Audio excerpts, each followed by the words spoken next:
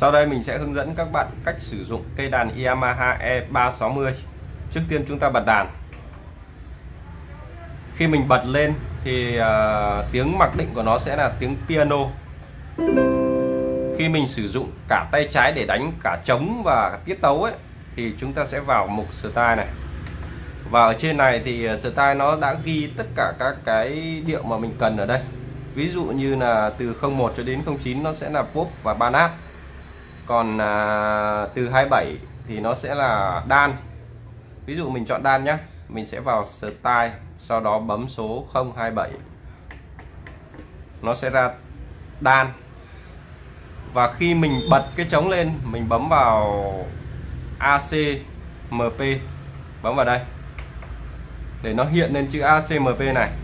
Khi hiện lên chữ ACMP rồi mình sẽ bấm vào xin start này để khởi động khởi động tay trái mình sẽ bấm vào tay trái.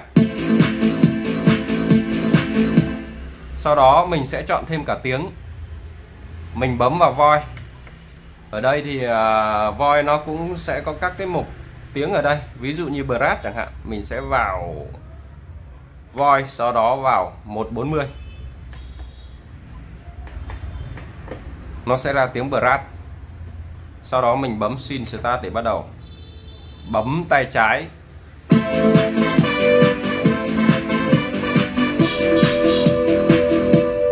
trong đó, ở đây có phần main, tức là phần dồn trống. Khi mình đang đánh bình thường, muốn dồn trống, bấm vào. Tiếp theo, sẽ là tăng tempo và giảm tempo, tức là cái tốc độ của cái bài mà mình đang muốn đánh. Bấm vào tempo. Ví dụ như nó nhanh quá thì mình bấm trừ cho nó chậm đi hoặc ngược lại bấm tăng lên. Còn đây là xúc tình tức là khi mình đánh nó sẽ có độ vang. Mình về gram piano tiếng mặc định này bấm vào đây. Đấy, nó sẽ ra tiếng mặc định. Tiếng piano nhá. Chưa có vang mình bấm vào đây nó sẽ vang. Tiếng nó sẽ hay hơn. Rồi,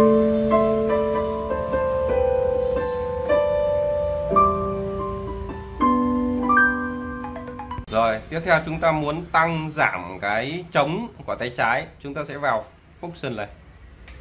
Sau đó nó sẽ hiện lên chữ style volt thì mình có thể tăng và giảm tùy. Ví dụ như trống nó to quá thì mình cho nó nhỏ đi hoặc cho tăng lên. Còn muốn giảm cái độ cao của bài thì mình sẽ vào function tiếp này. Bấm vào, đến khi nào mà nó hiện lên chữ transport, mình bấm giảm hoặc tăng.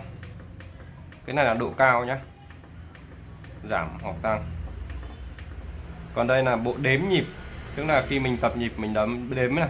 Khi mình tập nhịp thì mình sẽ bấm vào đây để đếm.